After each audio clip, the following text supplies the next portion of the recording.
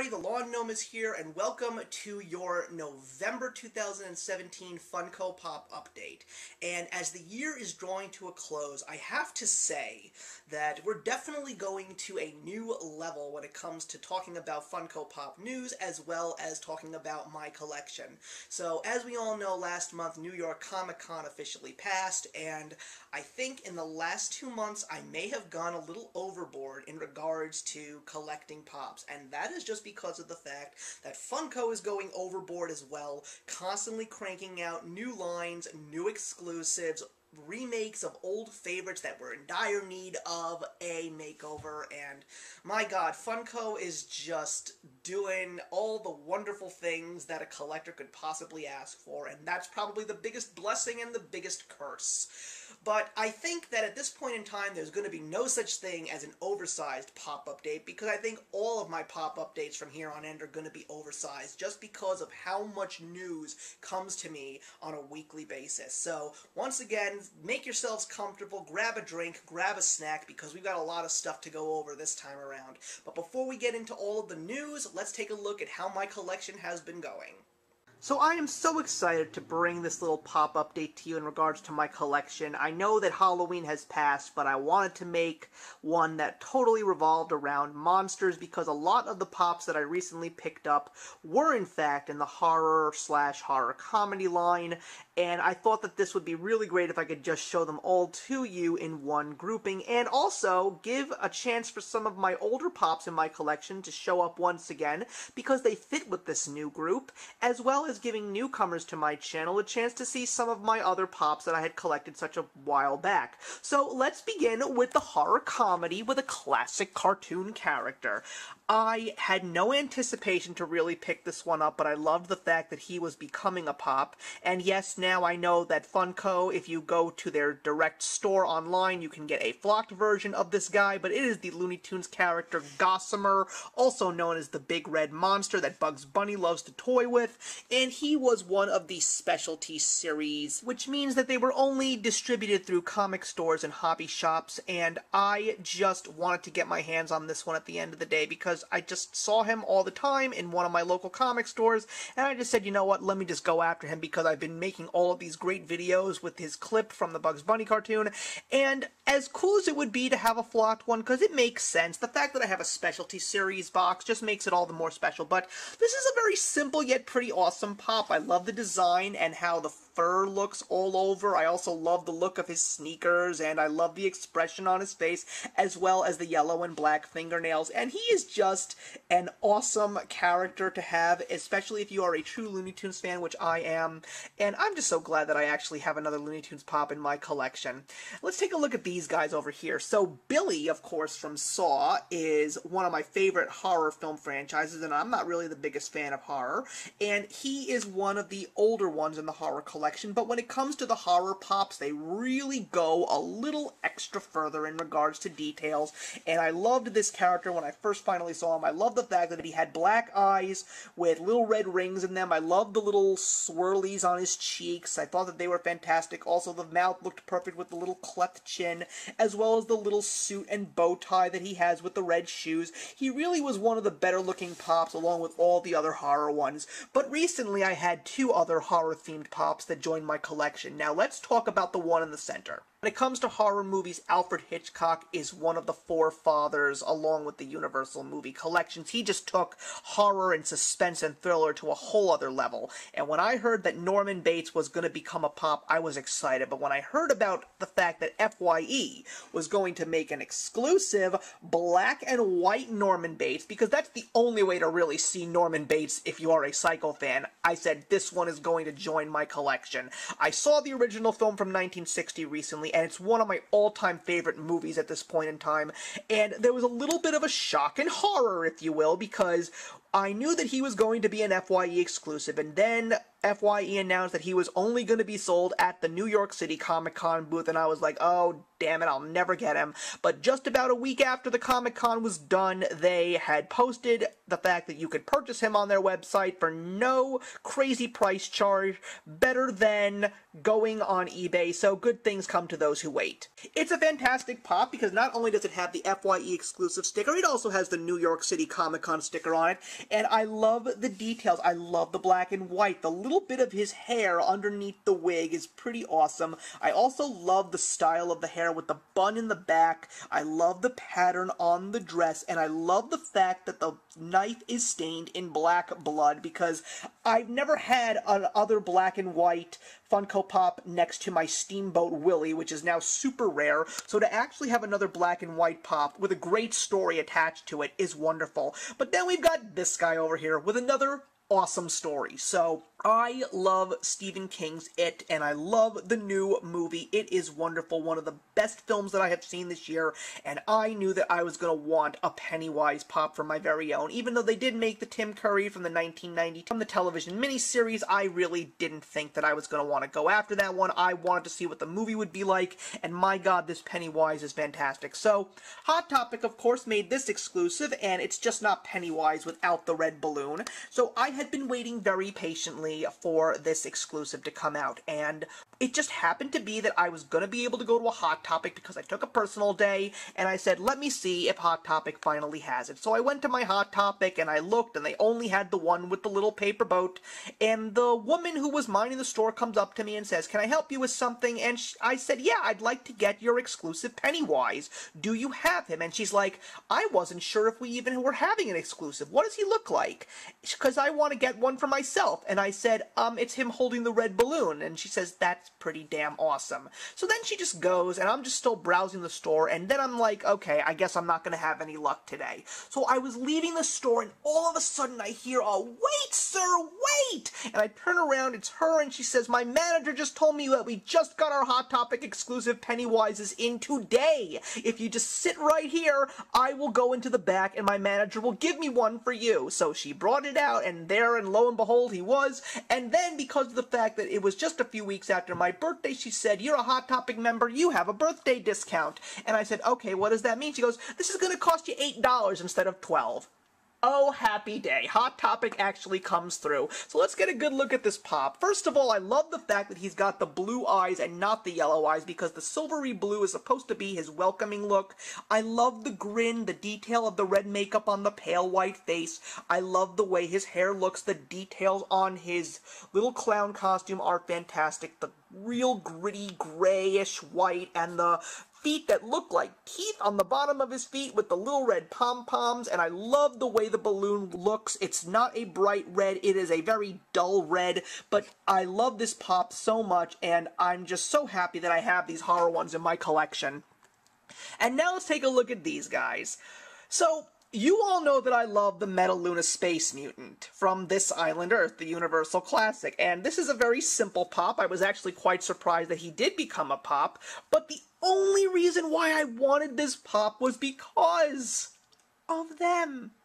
Mystery Science Theater 3000 Pops. We've got Tom Servo and Crow. If you don't watch this show, you have no idea what you're missing. These are such awesome pops, and I'm so happy to have them in my collection. I take a look at them, and all I can think about is all of the great lines, especially from the movie where they actually review this Island Earth. So we've got Crow T Robot, and he's just you know, simple yet complex all at the same time. I love the details on his arms, and I don't think we ever saw his feet on the show, because of course he's a puppet, so it was just really cool to actually see him, and of course, the expression is absolutely priceless. Although, with the design of Pops, I have to admit that his head is a little bit wonky to me, but that's just me. It's just cool to have him. But I love the Tom Servo. I love the fact that he's got the clear dome on the top of him and the little mouth over here. You probably realize it's a little gumball machine, but I love these two characters characters so much, and every single time I look at them, I just think of all of the awesome things, especially because of the fact that they called him, the Metaluna Space Mutant, Uncle Scrotor, and I still want to give him a hug, thanks to these two guys, because they are just fantastic and awesome. And that pretty much wraps up all of what I wanted to discuss today in regards to the Pops. So many awesome ones, so happy to have them in my collection, and what are we waiting for? Let's get on to all of the new Pop news. So, as promised, I told you that we were going to have two specialty series, so these are the ones from last month and the current month, and they're definitely two interesting ones. We've got Rose, one of these brand new characters that we don't know much about, but she is going to be making a big appearance with a big role in The Last Jedi, so this is her in her first order gear, which makes me kind of now wonder what side she's on, so I am very intrigued to see what this character is all about. And we've also got one from a brand new series that is actually going to be talked about a little bit later, and quite frankly, I think this was a long time coming, and that is Uncle Traveling Matt from Fraggle Rock. And as you can see on the box, it says Fraggle Rock 35th Anniversary. That's pretty damn awesome. I cannot believe the fact that this show has been around for 35 years. Just shows how old I am. But I love the details in both of them, particularly Uncle Traveling Matt. I just love all the textures and the colors on him, and I'm very curious to see just how many people are going to go out and buy that one. But again, these are both going to be found at your local comic and hobby shops, and they definitely are good things that fans like to receive. And we've got plenty of amazing things from the Funko store, and some of these unfortunately are not obtainable anymore.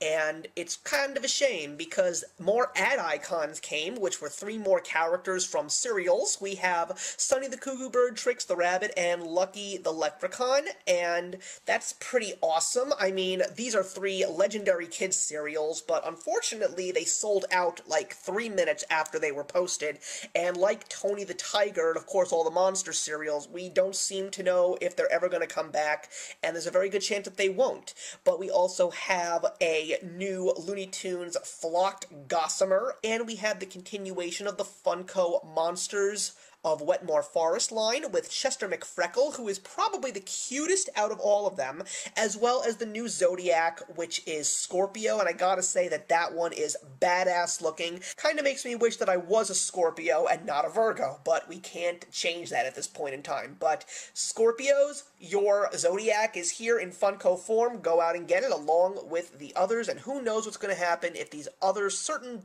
breakfast cereal ones will come back. And of course, we now know what the Smuggler's Bounty box is going to include. It is going to be Poe Dameron with his X-Wing fighter with little BB-8 in the back, and that is pretty awesome. But I have a feeling there is going to be another pop in the box, and we're just going to have to find out exactly what it is when the time comes around. We also have some new exclusives. One that was supposed to come out a while ago. It was actually featured at Comic Fest, and it is the PX Previews exclusive of Sparkling Emma Frost. We also have two new Walgreens exclusives exclusives, which are Valkyrie and Spider-Man in the big time suit. This is just a repaint of his suit that was glowing green and now it's red.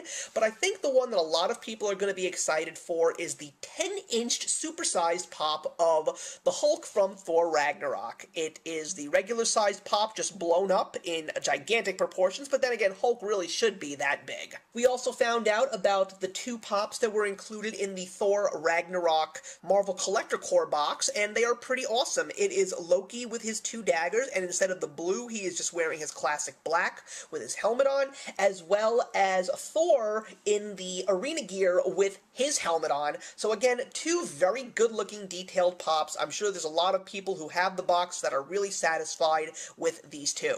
And along with those, we also received some very interesting Walmart exclusives. It is Stan Lee in his appearances in MCU movies. So we have three roles of his as him in Guardians of the Galaxy, as well as Captain America the Winter Soldier and Captain America Civil War. I'm wondering if this means we will see more of these from outside the MCU. Like, I think a lot of people would be excited to see him from the original Fantastic Four movie as the Postman, but that's just me. And we also have some news from DC. It looks like PX Previews is going to be offering two versions of a double pack, which include two fan favorite characters Blue Beetle, that's the Ted Kord Blue Beetle, not the Jaime Reyes Blue Beetle, and Booster Gold. Not so keen on the color scheme of Booster Gold. I don't recall him being orange and violet as opposed to yellow and blue, but I guess that's the way it's going for now. But people who don't really know these characters, definitely check them out on Wikipedia. They are definitely cool characters in the world of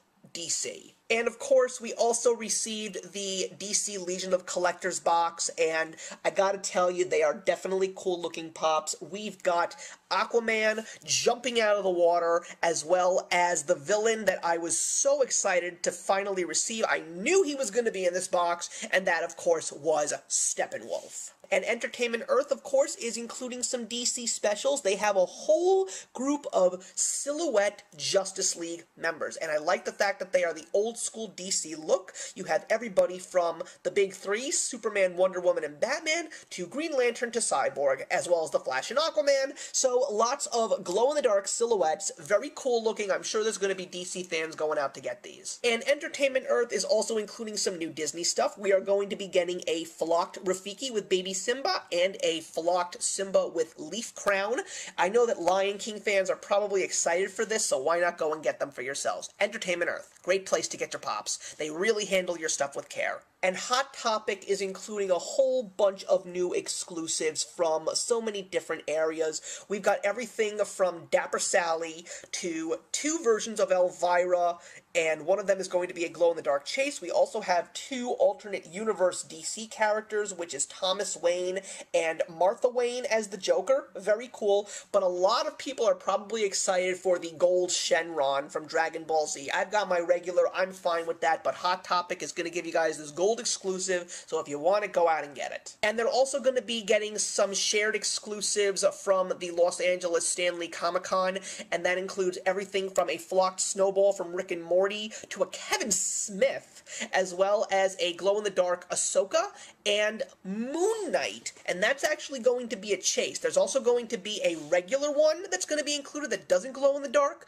but it is pretty cool to know that Moon Knight is going to be a pop, and there's also rumors that there's going to be another Moon Knight that is going to be him in the classic original look. That basically means the big white cloak and hood. Pretty cool. Gemini Collectibles and FYE are giving us some new animation exclusives. We've got Reptar eating cereal from FYE, as well as a flocked Yogi Bear from Gemini Collectibles. He comes onto the site on and off. Definitely check out your Pop Fanatics over on your local Twitter feed to find out if and when he is going to be coming back to buy on the website. And we've also got some new Toys R Us exclusives coming out. One of them is from the WWE line, Shinsuke Nakamura. We've also got one of the Snow White pops, which is her in her peasant clothes. But the cool one is the new ad icon, which is Geoffrey the Giraffe. That's number 12 in the set. Pretty cool to see him. And why wouldn't he be a Toys R Us exclusive? And probably one of the more interesting pops that was announced last month was the fact that Walmart is going to be getting the first of the new line of board games. We've got Mr. Monopoly, but his real name is Rich Uncle Pennybags. Love the way he looks. I'm going to try and get my hands on this one and add it to my collection because I've played Monopoly. I love the character.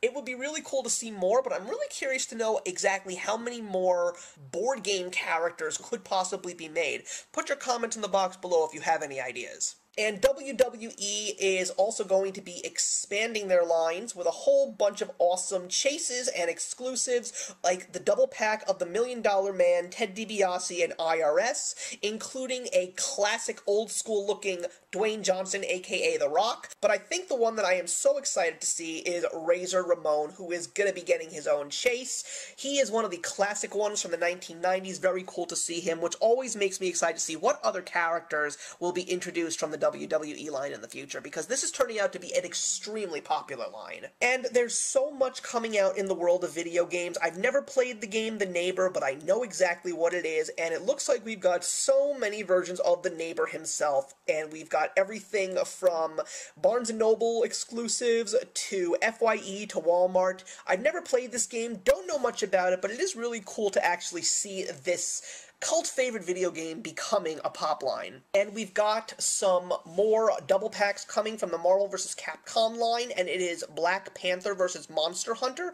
Very interesting look we got here, along with a Best Buy exclusive with a different color scheme. And we've also got three pops coming from the new Guardians of the Galaxy video game that I didn't know about. We've got two regular ones, including Hala and Gamora, as well as a double pack of Rocket and Lylla. Again, don't know much about this. I really don't know anything about this video game, so put your comments in the box below and let me know what this Guardians of the Galaxy game is about. And a line from the video game line that I am so excited about is the fact that Sonic the Hedgehog is getting a much-deserved makeover. We've got everything from various versions of Sonic, as well as Shadow and Dr. Robotnik, aka Eggman, but we've also got three exclusives here. It looks like we've got a glow-in-the-dark one from Toys R Us, and we've got a Supersonic from GameStop, as well as a Hot Topic exclusive of Shadow.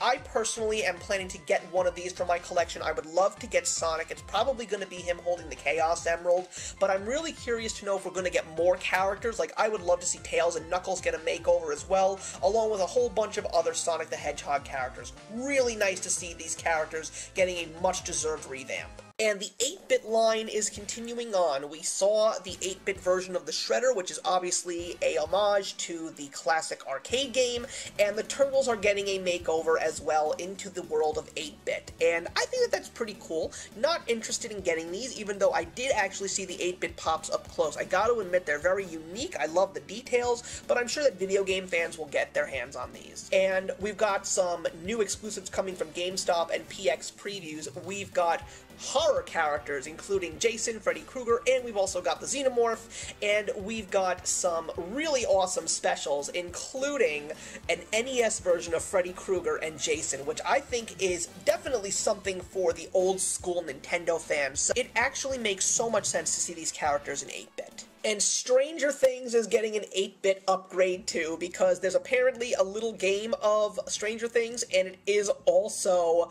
an 8-bit game. So these characters are all going to be available at Target, so that means they're probably going to be extremely hard to find. But again, it's really interesting to see these characters turned into 8-bit, especially the Demogorgon. And speaking of Stranger Things, Wave 3 is coming out, especially if you've watched Season 2. I'm sure you're all excited to get your hands on these new pops. I love the fact that we've got all four of the boys in Ghostbuster costumes, as well as the new Eleven and Joyce, as well as the new character Max. I've seen the show, Max definitely has a good role, and her Hot Topic exclusive of her in the Michael Myers Halloween outfit is pretty badass. And I think BookTube literally exploded with excitement when they found out that the new comics line adding the Image comic sensation Saga to their collection. I don't know anything about this comic book series. I'm sure that booktubers around the globe can explain how good it is, but there's going to be so many things to go after, including a whole bunch of exclusives from Barnes & Noble and Hot Topic, as well as a Chase, and of course, the one in the bottom row in the middle. The Bloody Lying Cat is going to be available at comic book stores across the country on Free Comic Book Day later on in spring 2018. So, Saga fans, I'm sure you're all so excited for this line. I don't know how many characters they could possibly continue making because, again, I don't know much about this series, but I'm sure you're all excited for these. And Dragon Ball Super is getting a pop line. Not so thrilled about the fact that they're not continuing with Dragon Ball Z or Dragon Ball at this point in time. I really hope they do. I don't know much about this series because I haven't watched it yet. I know that it's coming out on Blu-ray and DVD, but I would like to get it when it comes out on the seasons. But for what I'm seeing right now, they do look pretty awesome. I love the way that the Trunks looks. And of course, on the bottom row, there are a whole bunch of exclusives. One of them is a Diamond Comics exclusive, and that's the Gotenks. And there's also going to be one from Toys R Us, Walmart, and the Super Saiyan Trunks is going to be a Hot Topic exclusive. And this is what makes Funko so great. Mr. Bean, the pop culture icon from the UK, is getting a pop. You can get the regular and you can get the chase with a whole turkey on his head that's obviously from the movie.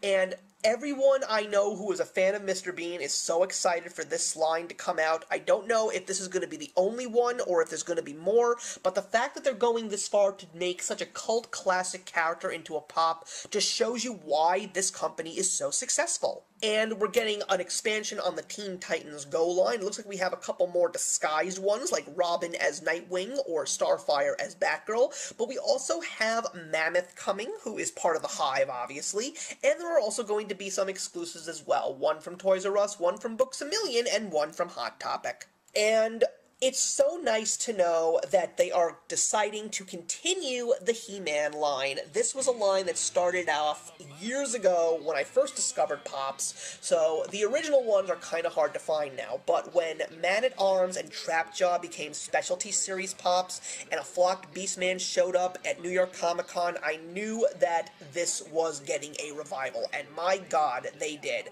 They've got Battle Armor He-Man and Skeletor, those are based on the old action figures I actually had had the battle armor He-Man, so it is so cool to see that. But we've also got Orko and Stratos, but we also have tons of villains, including a regular Beastman, a Merman along with a Chase, and an Evil Lyn, as well as some exclusives, including an FYE exclusive version of Trapjaw, but also a Toys R Us exclusive of Mossman, who is flocked, just like the figure was, and a Target exclusive of Faker. So, Masters of the Universe fans, it's great to see see more of these. I'm hoping that more are going to come out at this point in time. We'll see how well these sell, and maybe we'll get some more She-Ra ones as well, because there's a lot of people who made She-Ra their holy grail, and they never found her, so maybe she'll finally get a makeover herself. And the Looney Tunes line is coming out in full force. No more exclusives, everybody. These are going to be in retail everywhere, except for the Target exclusive of Flocked Bugs Bunny.